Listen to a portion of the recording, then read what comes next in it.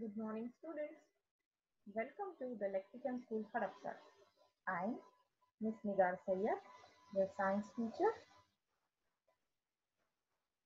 Today, we will talk about lesson number one, crop production and management. As we all know, clothes, food, and shelter are the basic needs of humans. And for food, we all are dependent on plants and animals. For the need of food, humans are dependent on agriculture. Agriculture means the practice of farming, including cultivation of land for growing crops and rearing of animals to provide food, wool, meat, and other products. Mainly, in this lesson, we will talk about the crop production and management. Let's see what do we mean by crops. Crop when plants of the same kind are grown and cultivated at one place on a large scale, it is called a crop. For example, crop of wheat means that all the plants grown in a field are that of wheat. Similarly, if you talk about crop of rice, it means that all the plants grown in a field are that of rice.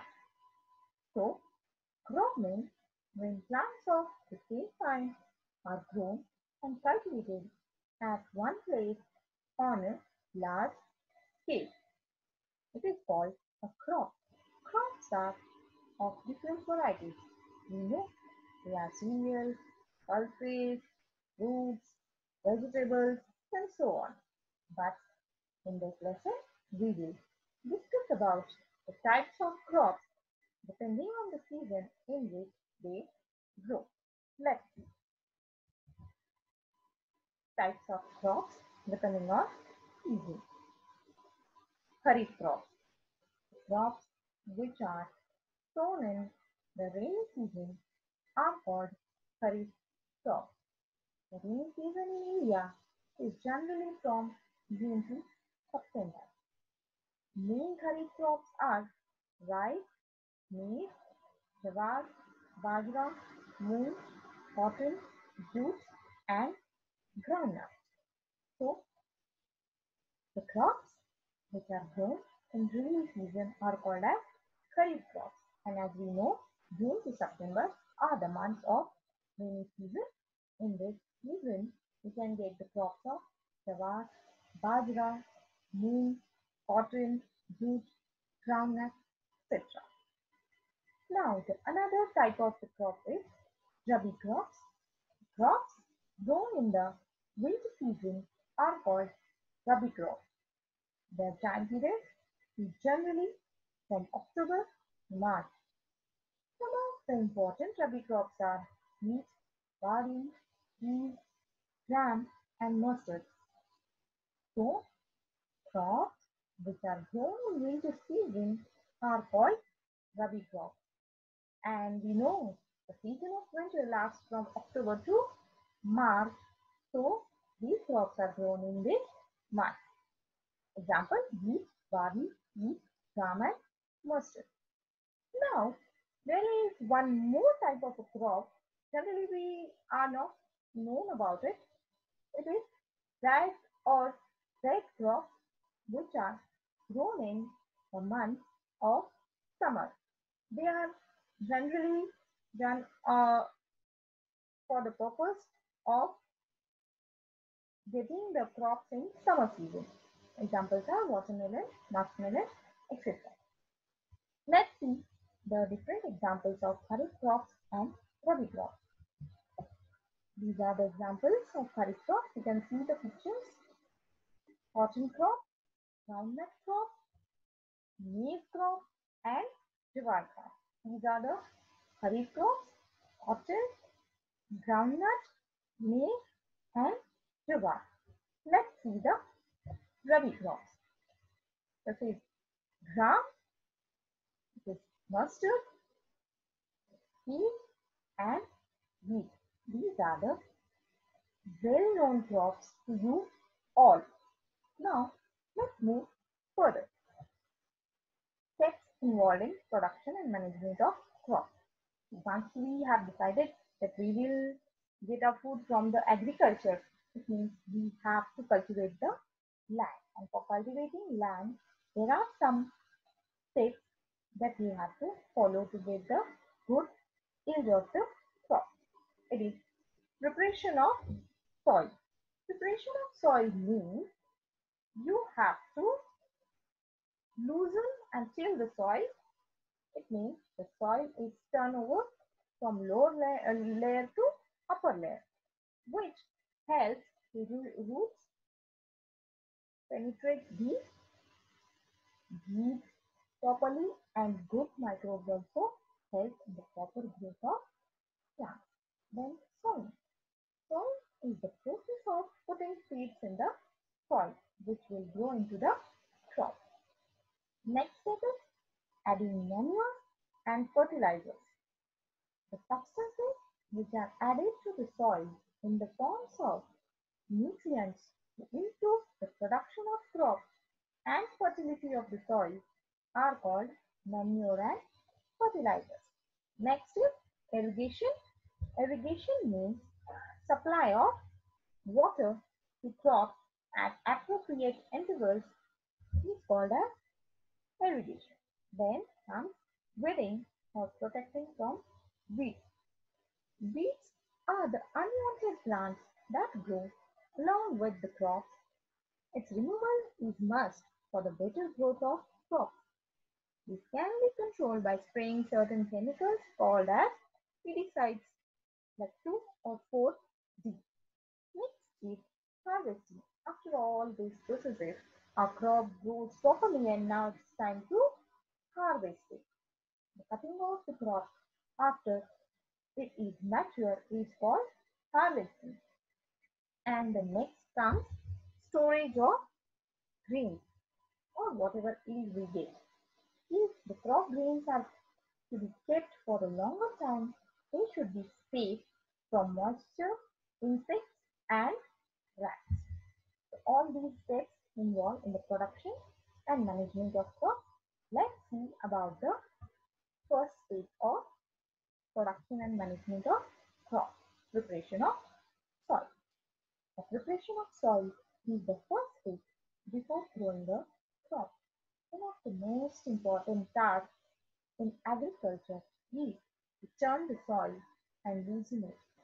This allows the roots to penetrate deep into the soil.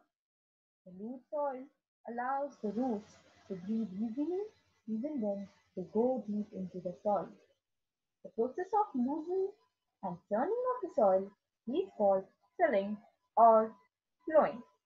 Let's see what helps us to conduct this tilling and or plowing. Equipment or the implements which are used for plowing and tilling are plow and hoe. This is plow which is driven by the bull and this is the plow which is driven by the tractor. You can see this is made up of wood. It has a beam which is rested on the neck of bulls. This is the actual plow which has plowshare, plow shaft. This plowshare it is made up of metal which inserts into the soil and loosens the soil. Hoe is also equipment which is used to loosen the soil and to remove the weeds from the field. This is manually handled and this is handled with the machine or tractor. This is the cultivator. Nowadays, plowing is done by tractor-driven cultivators. The use of cultivators saves labor and time. You all know about this. Some of you might have used also. After the soil is ready for after this soil is ready for sowing. Sowing is the most important part of crop production. Before sowing, good quality seeds are selected. Good quality seeds are clean and healthy seeds of a good variety. It can give you a good kind of a crop and which can give you high yield. So after preparing soil by the plowing and tilling, we are ready to sow seeds. But before that, we are supposed to select good variety of the seeds or we can say good quality of seeds. For this purpose, generally farmers take the seeds and put them in the bucket full of water and they wait for some time. After that, whatever seeds are settled down, they are considered as a good quality seed and the ones which are floating, they are not used for the sowing. For this purpose, we are going to conduct uh, an activity. For this purpose, you will take a beaker at home. You might not be having a beaker. You can use a glass bowl, half fill glass bowl with water. Put handful of seed seeds and well and wait for some time. We will observe that after some time, the good seeds which are full grown are settled down and the seeds which are not properly grown or which are of not good quality are floating on the water. So, if you want to sow the seeds, you can use the one which are settled down because they are good quality of seeds. So, after this, we'll see. Now, after selection of seeds, we have to sow them using different tools. Let's see which tools are used for sowing. Here you can see a picture of traditional tool.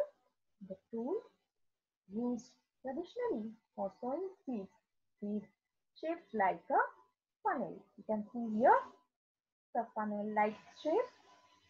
The seeds are filled into the funnel.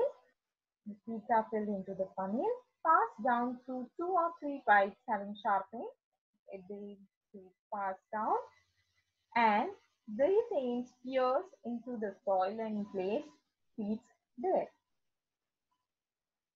So seeds are filled into the funnel, passed down through two or three pipes having sharp ends. These ends pierce into the soil and place seeds there. These seeds are sown at an equal distance with a proper distance between or among them for the proper growth of it. This is the traditional tool. Let's see now the next tool. The seed drill.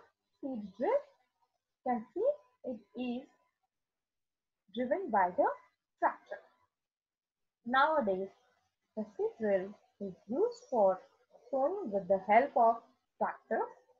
This tool, this sows the seed uniformly at proper distances and depth. You can see the distance between all these ends is equal and it is enough that it will not cause crowding of the crop.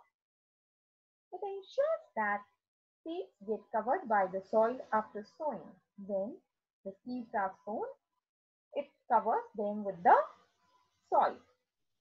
This prevents damage caused by birds. Obviously, if birds will see the grains lying on the field, they said it is the food for them, they will eat it up.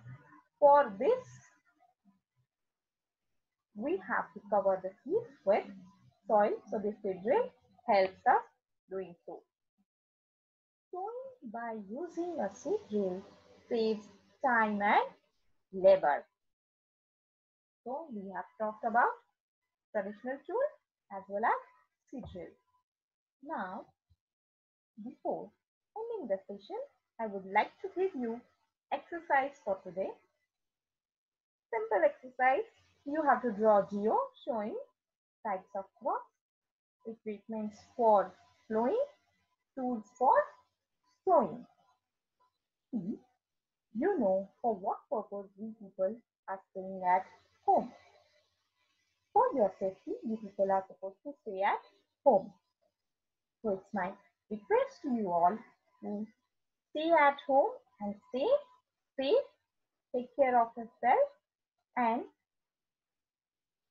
come for the next patient with uh, for next patient with full of energy and your attention.